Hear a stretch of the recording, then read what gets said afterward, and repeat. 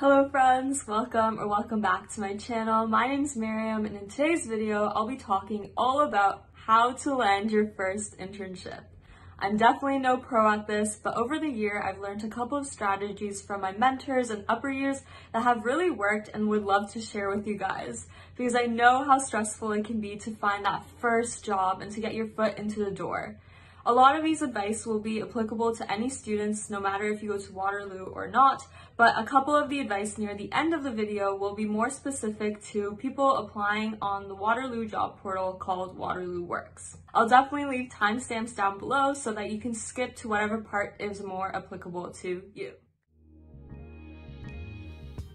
All right, so the first step to this whole process is applying. And in order to apply, you will usually need a resume. Um, so a couple of advice that I have around this is make sure your resume is only one page long, especially for your first internship. And I think all throughout university, most jobs will only look for a one page resume because recruiters usually spend less than 10 seconds on each resume. So if it's longer than that, I don't think they'll be skimming through. So make sure your resume is one page long, concise, and easy to read.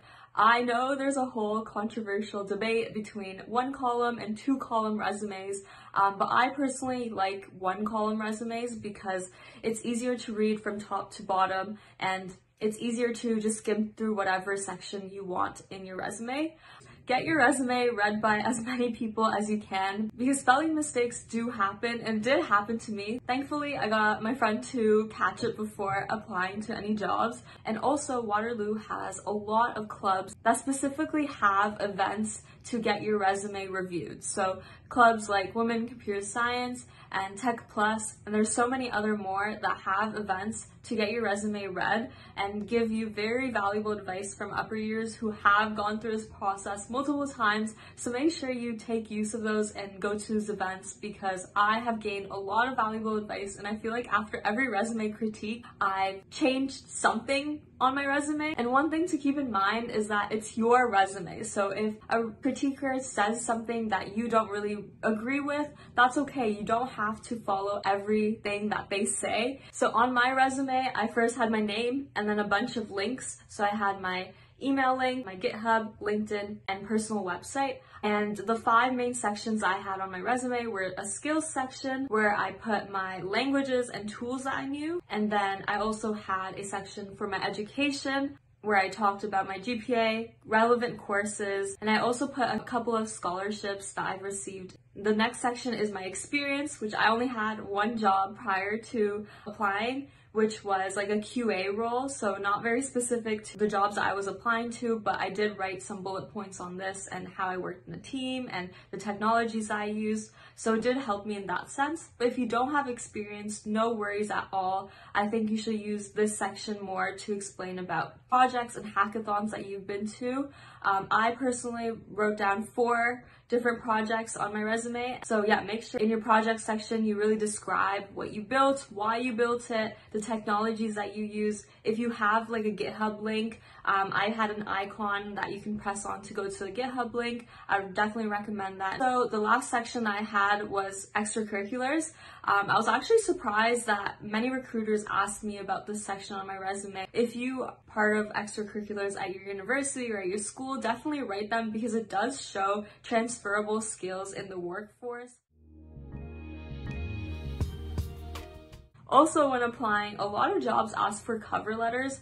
I personally will only write a cover letter for a job that I really want. So I didn't write a cover letter for every job that I wanted, but one thing that I will say is that the current job that I'm working at and my second choice that I was debating between, I wrote cover letters for both of them. So I do think that cover letters can only improve your chances. But in a cover letter, uh, how I wrote them was that I usually had three paragraphs, an intro of who I am, why I'm applying to this company. Second paragraph, I would talk about like a project that I did and my process through it was a hackathon project, what it was, why I built it, a very detailed explanation of why I built a specific project. And that project that I picked was usually geared to the job skills and the job experience. And the third paragraph is just wrapping it up. I would also give more details on why I want to join this company in a specific project that piqued my interest.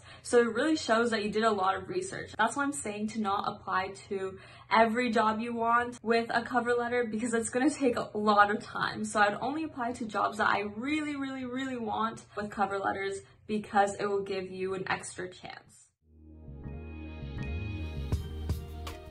Alright, so the next part of the application process is interviews. So hopefully after you submitted your, your, resume and your information, then you'll be contacted with the next steps. I do have a couple of advice for this part of the process. My biggest advice is practice. Practice behavioral and technical questions most internships, like they know that it's your first internship, won't have a technical section, but that's not guaranteed. So it's better to practice and be ready for that than go into it and they give you a technical and you're like, mm, I don't know. So make sure you practice. So for behavioral interviews, I would say practicing general questions. I left a bunch of questions in the description box with questions that I've been asked. Take a look at that and try to practice it on your own. Also make sure that you know your resume front to back because they, they're gonna ask you a lot of specific questions and if you don't know, that will kind of be like a red flag.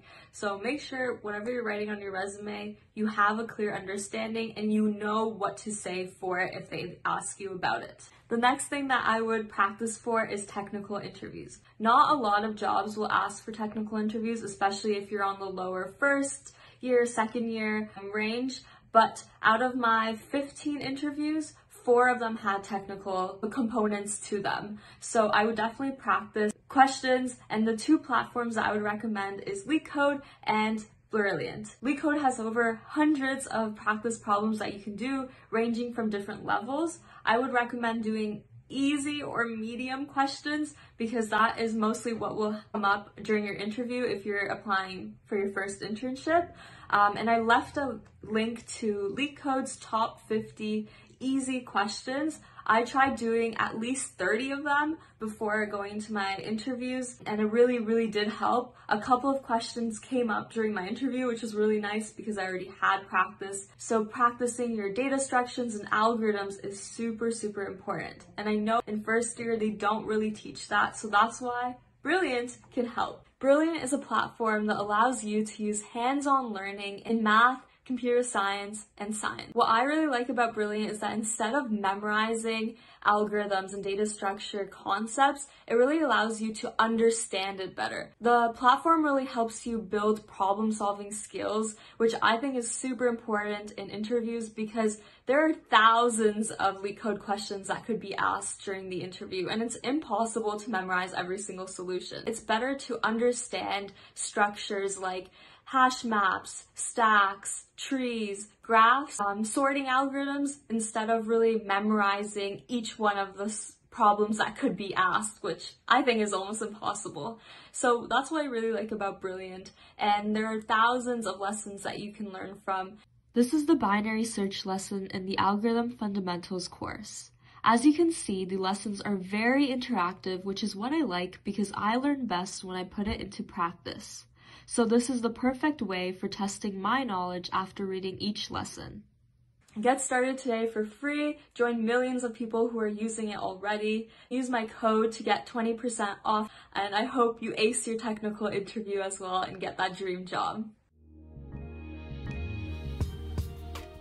At the end of your interview, make sure to also ask questions that are specific to the company and the team to show that you've done lots of research.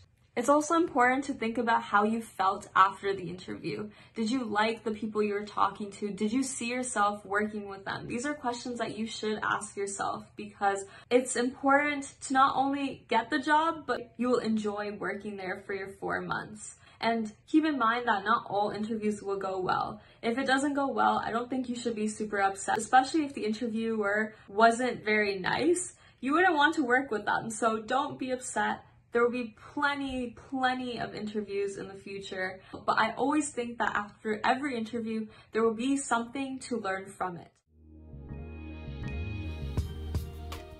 Alright, so now I'll take a little bit of time to talk about some advice that I've gained or learned from applying through Waterloo's job portal called Waterloo Works.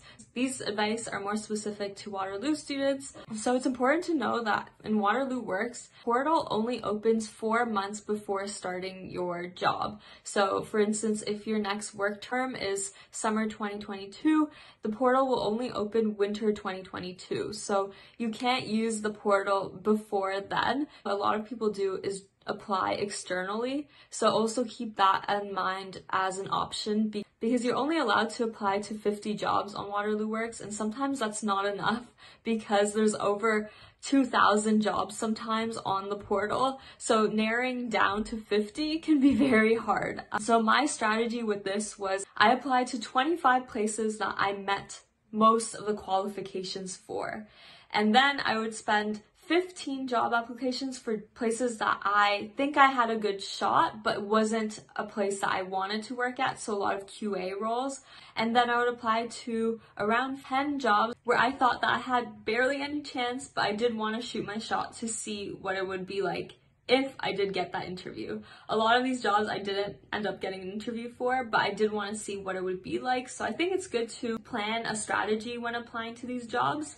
Also, another advice I have for first years is that on Waterloo Works, on every job, you can see details, information of the job and how many percentage of each years of students they hire. So if that makes sense, like they have a pie chart and they show that this job hires 14% of first co-ops. So I use this chart a lot when making these decisions on how much of a chance I have to get the job. Um, and I only applied to jobs that had um, a percentage of hiring first years more than 10%. So that gave me more chances of getting the job. Um, I definitely recommend this strategy to anyone who's also looking for their first co-op and they have to decide which 50 they're going to apply to. So applying to these jobs that you have a higher percentage of getting at will allow you to leverage. So the timeline for Waterloo Works is that it moves really, really fast. So as soon as you start your term and you have to be applying that term, you will start applying to jobs almost immediately and it's a bit overwhelming because you got to apply and also settle in with your courses. So having that resume and like a, a, general cover letter ready will help you ease this process a little bit more. After you apply in the first two weeks, and by the fourth week, that's when decisions come out. And then you have 24 hours to rank the companies that ranked you to see which one you get. And so how the algorithm works is that the lowest sum gets the job. So for instance, if a company, let's say company X ranked me one and I rank them one, that's automatically a match. You get that job.